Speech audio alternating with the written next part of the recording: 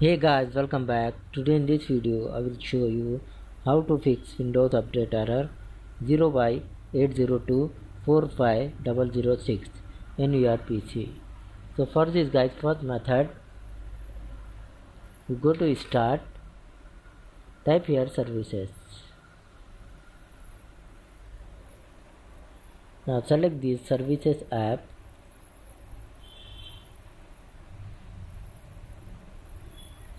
Find here guys Windows Update Service.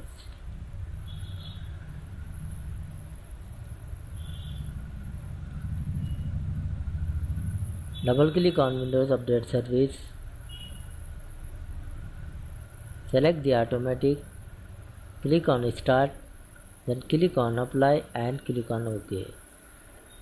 After guys you restart your PC. Hopefully it will fix your issue. And if not work, to try the second method. Just right click on start. Select the settings.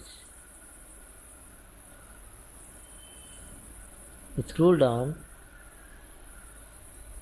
You can see here troubleshoot. Select the troubleshoot option. Then select the other troubleshooters.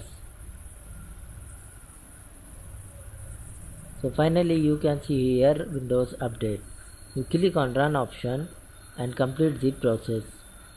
After guys once again restart your PC hopefully this time it will fix your issue. And the third method just go to start type here command prompt. Right click here and select the run as administrator. Type here guys command SFC space forward slash scan now and hit enter on your keyboard.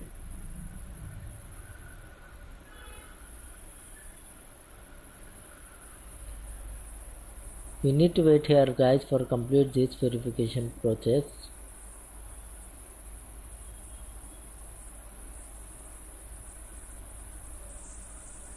After complete the 100%, you close your command prompt and once again restart your PC hopefully guys this time it will fix your issue. So thanks for watching this video. Please like share and subscribe